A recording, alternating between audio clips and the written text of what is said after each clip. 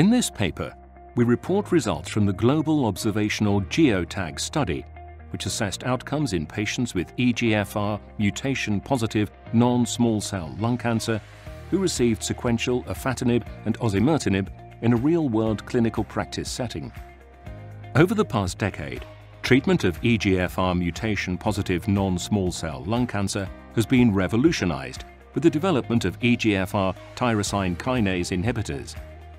These agents are associated with improved clinical outcomes and improved tolerability compared with the previous standard of care, platinum doublet chemotherapy. Three generations of EGFR TKIs are available for first-line treatment of EGFR mutation-positive NSCLC, with recent head-to-head trials demonstrating that the second-generation EGFR TKIs afatinib and dacomitinib, plus the third-generation EGFR TKI osimertinib, are preferable to the first-generation EGFR TKIs erlotinib and gefitinib. Regardless of which first-line EGFR TKI is chosen, acquired resistance to therapy is inevitable. Therefore, a key consideration when assessing therapeutic choices is the availability of subsequent treatment options following disease progression. The predominant molecular resistance mechanism to gefitinib, erlotinib, and afatinib is the emergence of the T790M mutation in exon 20 of the EGFR gene, which is present in approximately 50 to 70% of tumors at the time of acquired resistance. Osimertinib was originally developed to target T790M positive tumors and is approved in this setting based on the data from the AURA trials. Hence, there is an argument for treating patients with sequential EGFR TKIs with osimertinib reserved as a second-line option to maximize the time of targeted therapies and defer the need for more toxic chemotherapy regimen. Consequently, the Global Observational GioTag study aimed to assess outcomes in patients who received afatinib followed by osimertinib. We reviewed medical records of patients with EGFR-mutated advanced NSCLC who received afatinib as first-line treatment and who developed the T790M mutation and received second-line osimertinib treatment. Patients were excluded if they had received any other first or second-line treatments, had active brain metastases, or had been treated in a clinical trial. The primary outcome was the overall time on treatment, defined as the time from the first dose of afatinib to that of the last dose of osimertinib or death.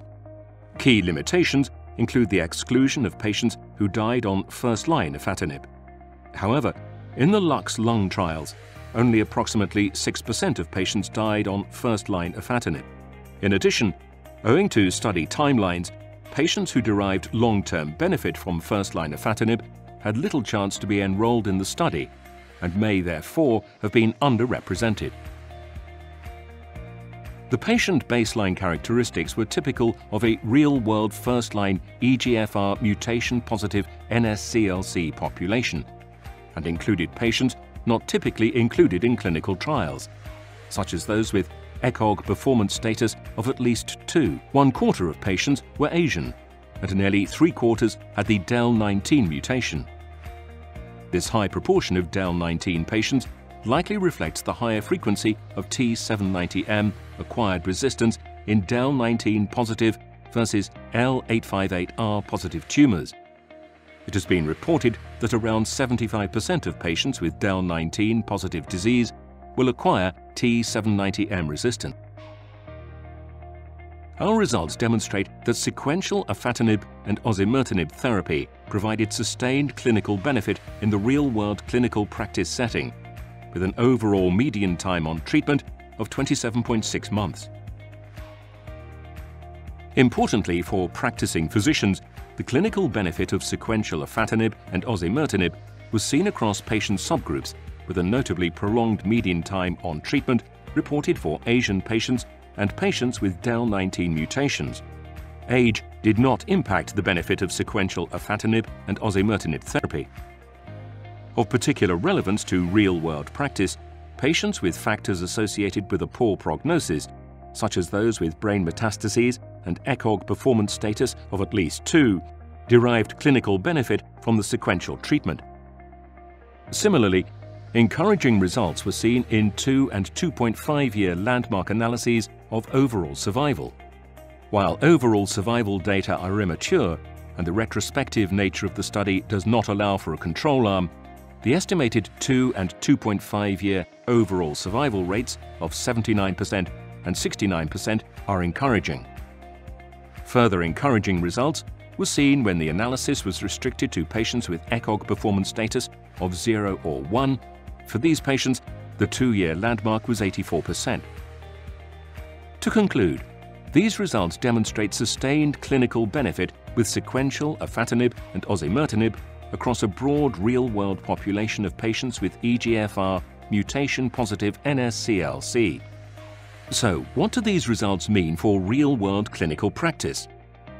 Importantly for clinicians, these results support a sequencing strategy of afatinib followed by osimertinib in patients with EGFR mutation-positive NSCLC who acquire T790M, with particularly encouraging results seen in patients with DEL19 positive disease and Asian patients.